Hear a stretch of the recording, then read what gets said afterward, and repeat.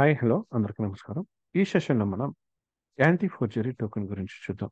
C ఏంటిది ఇది? Anti forgery token. అసలు జనరల్గా మనం దీన్ని ఎందుకు యూస్ చేస్తాం? So before going to anti forgery token first మనం క్రాస్ సైట్ రిక్వెస్ట్ ఫోర్జరీ గురించి చూద్దాం. What is CSRF or cross? మనం సిఎస్ఆర్ఎఫ్ అనొచ్చు ఆర్ అంటే ఎక్స్ఏఎస్ఆర్ఎఫ్ అనొచ్చు. ఏదైనా కానీ క్రాస్ సైట్ రిక్వెస్ట్ ఫోర్జరీ అంటాం. So cross-site request forgery is a type of security attack, is the security attack that forces an end user to execute unwanted actions on a web application. So they are currently authenticated. So యాక్చువల్గా unwanted action మెథడ్స్ని మనకి ఇక్కడ web అప్లికేషన్లో execute చేయమని చెప్పేసి మనకి ఈ cross site request force అనేది చెప్తుంది సో ఇది సెక్యూరిటీ అటాక్ అంటాం In ASP.NET Core MSC, protecting against CSRF attack is crucial to ensure the applications and its users security. So user security అనేది మనకి నార్మల్గా most important concept in web applications right so ఇక్కడ వచ్చేసి మనం ఒక two applications చూద్దాం. First of all bank application అనేసి ఒకటి తీసుకుందాం.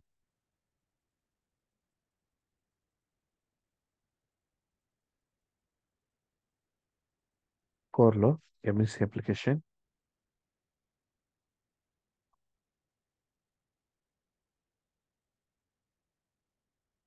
ఇది వచ్చేసి బ్యాంకింగ్ యాప్ అని తీసుకున్నాం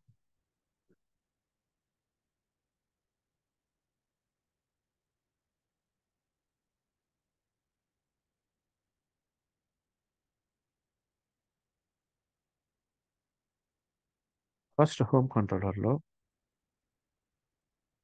ఇండెక్స్ మెథడ్ ఏదైతే ఉందో దాన్ని మనం హెచ్డిపి గెట్ మెథడ్ తీసుకున్నాం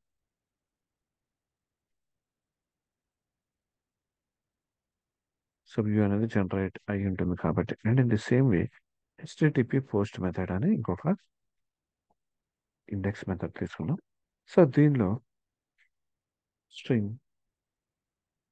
అకౌంట్ నంబర్ అందులోనే string pin number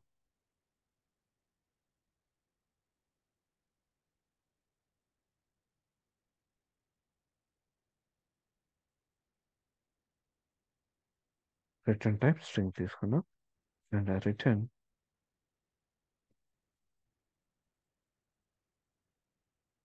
string interpretation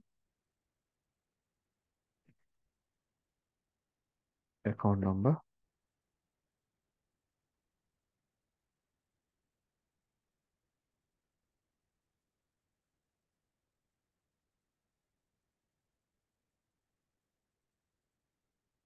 And pin change to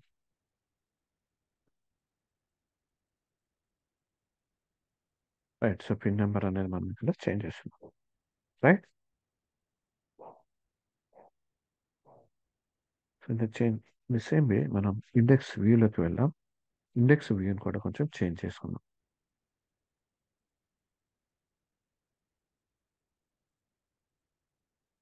index వ్యూని కొంచెం చేంజ్ చేస్తాను ఇక్కడ right pin change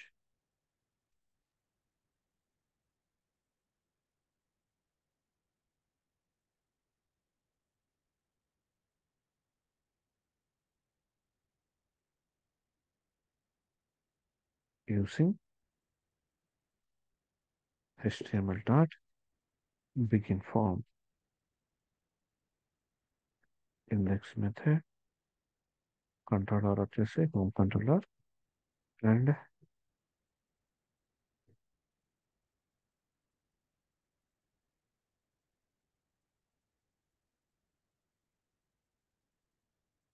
फॉर्म में थे back post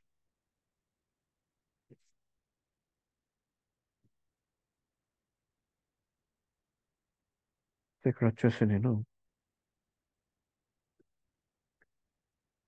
Crystal input.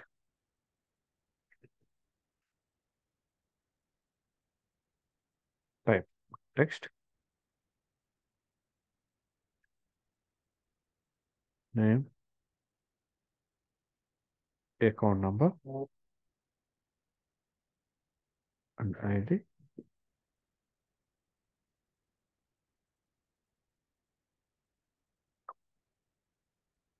Right? In the same way text next pin అలానే ID కూడా పిన్ అని తీసుకుందాం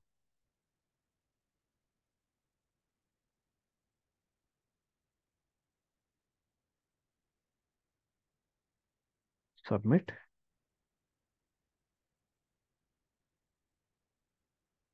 so value equals to.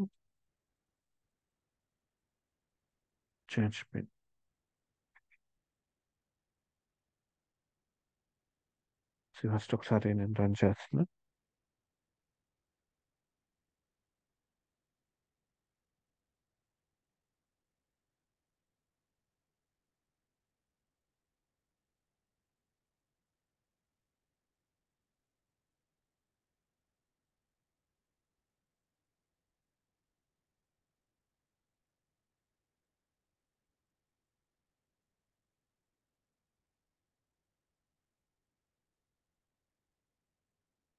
1, 2, 3, 4, 5, 6, 7, 8, 9. Echo number a champ. Pin number 1, 2, 3, 4. So account number and pin change to 1, 2, 3, 4. Right? Pin number change and check for channel. So actually, like you are a link to Manuki, I think. Home controller and index. Right? So ఇక్కడ వచ్చేసి నేను ఇంకొక application create చేస్తాను that is ఇది వచ్చేసి hackers application అన్న. అంటే hackers అనే వాళ్ళు క్రాస్ సైడ్ రిక్వెస్ట్. డెమోస్ తీసుకున్నాం cross site request forgery use చేసి ఎలా హ్యాక్ చేస్తుంది నచ్చడం సో దీనిలో వచ్చేసి నేను హ్యాకర్స్ యాప్ అని చూసి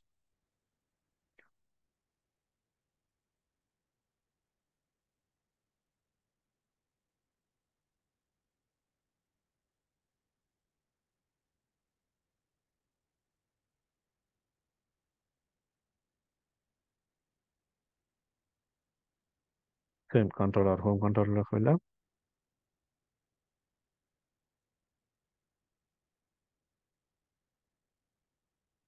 సో ఇది వచ్చేసి మనకి హ్యాకర్స్ యాప్ ఓకే ఇండెక్స్ దీని వ్యూలోకి వెళ్ళాం ఫోటో వ్యూ సో ఇక్కడ వచ్చేసి మనం ఈ వ్యూ హ్యాకర్స్ వ్యూ లైక్ ఏదైతే ఉందో దాన్ని మనం చేంజ్ చేద్దాం right suppose enter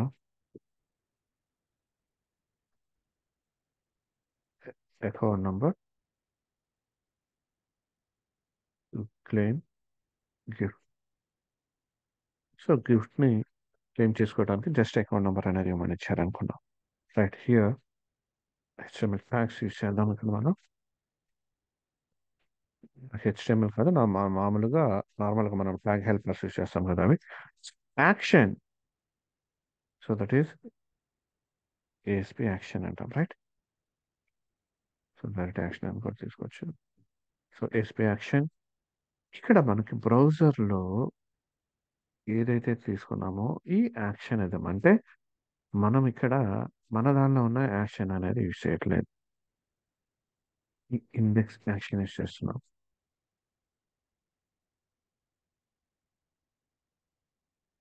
right action అంటే డైరెక్ట్గా దానిలోకి వెళ్ళిపోతుందండి అలానే మెథడ్. సో మెథడ్ వచ్చేసి నాకు ఇక్కడ పోస్ట్ మెథడ్ వచ్చేస్తుంది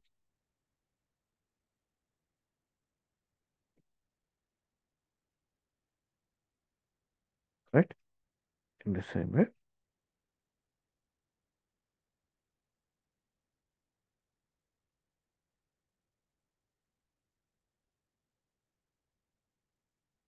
first one వచ్చేసి నాకు ఇక్కడ account number next one hidden ఫార్మాట్లో పెట్టుకున్నాను నేను.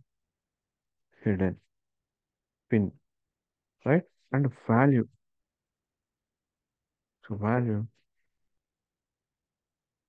four ones ఇచ్చాను రైట్ సబ్మిట్ అండ్ ఇక్కడ క్లెయిమ్ గిఫ్ట్ గిఫ్ట్ని క్లెయిమ్ చేసుకోవడానికి నచ్చాను రైట్ ఒకసారి ఈ- ఈ రన్ చేద్దాం.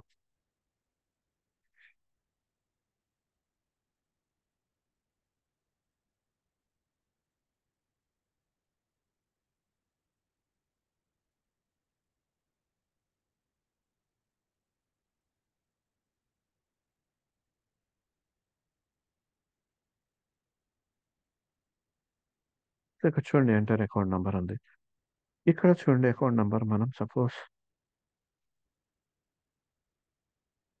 password one two three four అన్నాం రైట్? సో సేమ్ ఇదే అకౌంట్ నెంబర్ నేను ఇక్కడ ఇచ్చాను అనుకోండి.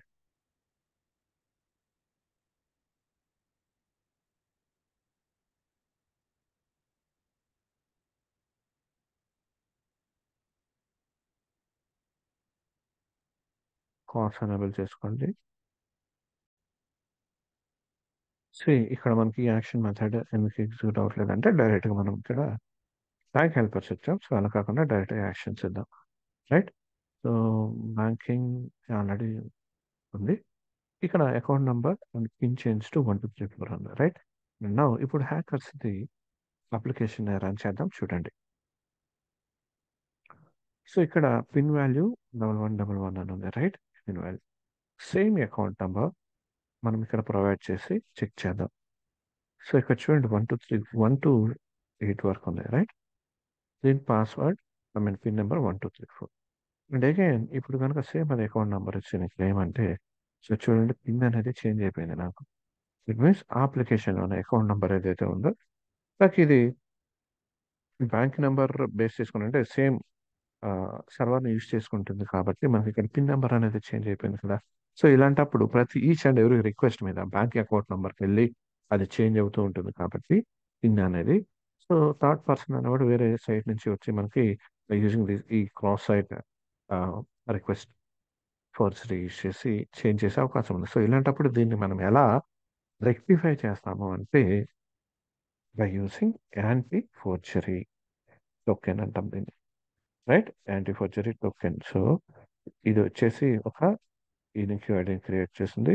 మనం ఈ రిక్వెస్ట్తో పాటు దాన్ని కూడా పంపిస్తాం అనమాట రైట్ సో ఈ యాంటీ ఫోర్జరీ టోకెన్ మనం రిక్వెస్ట్ వెరిఫికేషన్ టోకెన్ అని కూడా అంటాం.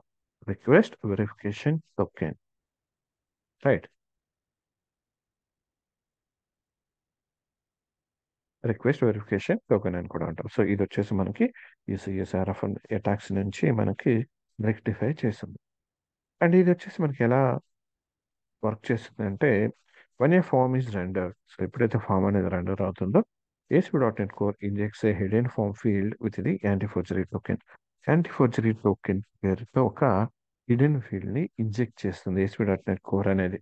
So the user browser submits this token along with the form data so మనం ఎలా అయితే అకౌంట్ నెంబర్ పిన్ ఇలా ఫామ్ డేటాని సబ్మిట్ చేస్తామో. అప్పుడు ఈ యాంటీ ఫార్ ఈ యాంటీ ఫార్జరీ టోకెన్ అనేది కూడా మనకి ఇక్కడ సబ్మిట్ చేయబడుతుంది. సో రిసీవింగ్ రిక్వెస్ట్ అనేది ఏం చేస్తుందంటే the server validates the tokens to ensure that the request is legitimate అది వ్యాలిడా కాదా అనేది మనకి ఇక్కడ చెక్ చేస్తుంది అనమాట సో ఇక్కడ యాంటీ ఫోర్జరీ టోకెన్ ఇంప్లిమెంట్ చేయడానికి మనం జనరల్గా వ్యూలో ఇంప్లిమెంట్ చేయొచ్చు. అలాగే కంట్రోలర్లో ఉన్న యాక్షన్ మెథడ్లో కూడా ఇంప్లిమెంట్ అనేది చేయొచ్చు కంట్రోల్లో ఉన్న యాక్షన్ మెథడ్ని బేస్ చేసుకొని చేయొచ్చు అలాగే ఆటోమేటిక్ టోకెన్ జనరేషన్ అని కూడా వచ్చింది. Age dot net two point zero and other version above above వర్షన్లో right and అలాగే Ajax request and token validation that means validate anti forgery token అనే లైక్ని కూడా మనం యూజ్ చేసి చేయొచ్చు రైట్ సో బెస్ట్ వే ఏంటంటే మనకి ఇండెక్స్లో లైక్ ఎక్కడైతే మనం బిగిన్ ఫామ్ అనేది పంపిస్తున్నామో అక్కడే ఫామ్ డేటాతో పాటు HTML dot anti forgery token so ఈ మెథడ్ మనం పంపించాం పంపిస్తాం. సో ఇప్పుడు ఇలాంటి కేసులో ఏంటంటే అది రెక్టిఫై చేసేస్తుంది మనకి ఇక్కడ. రైట్. అదర్వైజ్ మనకి ఇంకొక మెథడ్ ఏంటంటే ఇక్కడ ఎక్కడైతే యాక్షన్ మెథడ్లో మనం పంపించాలనుకుంటామో అక్కడ మనం దాన్ని వ్యాలిడేట్ యాంటీ ఫోర్జరీ టోకెన్ అని యూజ్ చేస్తాం. రైట్? ఏ మెథడ్ అయితే ఎక్సైడ్ చేయాలనేది. సో బేస్డ్ ఆన్ దిస్ మనకి ఇక్కడ పేజెస్ అనేది వ్యాలిడేట్ అవుతాయి మనకి రైట్?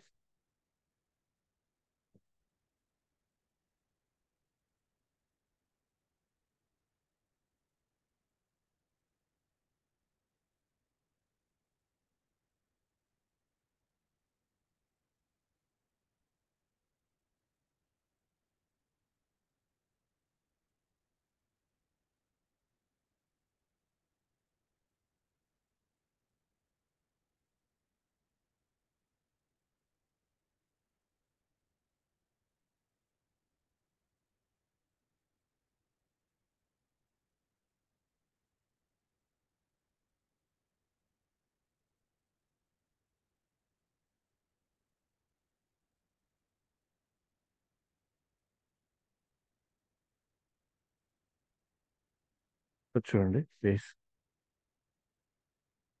నాట్ వర్కింగ్ సో ఈ ఎర్రర్ అనేది వస్తుంది. రైట్ సో అక్కడ మనం యాంటీ ఫోర్చరీ టోకెన్ అనేది ప్రొవైడ్ చేసాం కాబట్టి యాక్సెస్ అనేది అవ్వదు.